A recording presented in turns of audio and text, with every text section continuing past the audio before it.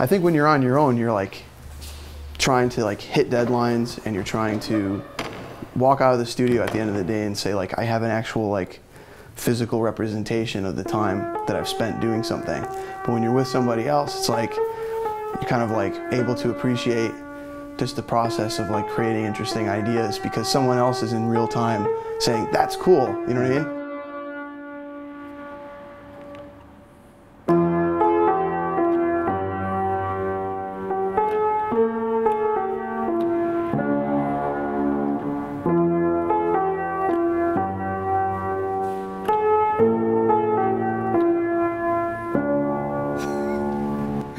I was like, do there.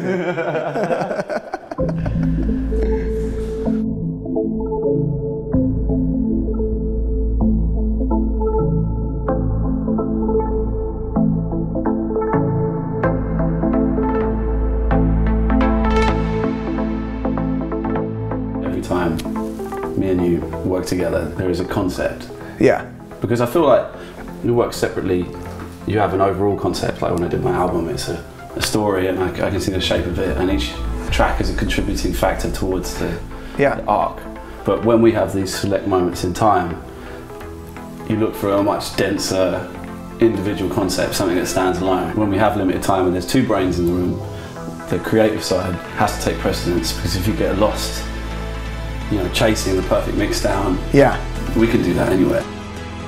Sharing these creative ideas between ourselves is how it fuels the next one. Right, exactly. Because the reward is great. Like when you see someone you admire and respect, you know, taking in something you've created Yeah.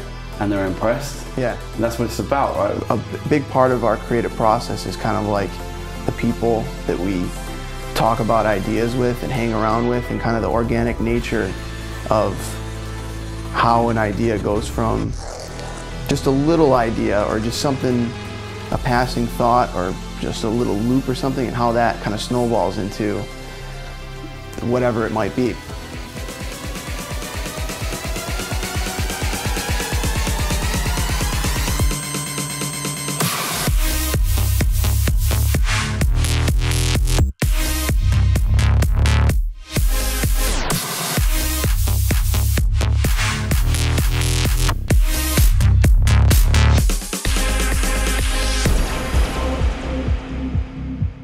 We were talking about the movement of the chords, and it was like sometimes things get hard, Yeah, yeah, that's how it started. and you want to give up, but if you keep trying, You get there in you'll the get end. there in the end. Yeah, yeah, exactly. How can we turn that into something that's like, well, me- it has some sort of metaphor or at least depth. yeah, and it's simple enough to where anyone can really Relate. relate to it. We have all these sophisticated metaphors, like you're saying, of what the song's about and about the struggle of fucking life and how it repl- re- relates to us as artists and our struggle and but let's keep it simple. Let's keep it something that's relevant to an adult, it's relevant to a kid, it's relevant to any person, even if they can speak English or not. It's like simple and follows the melody. And I think if kids are saying it, no one's doing that. If it's fucking executed properly, you could say anything. The more creative you act and the more public and, and, and uh, willing you are to share it, Yeah. the more your life seems to gravitate to like-minded people. Yeah.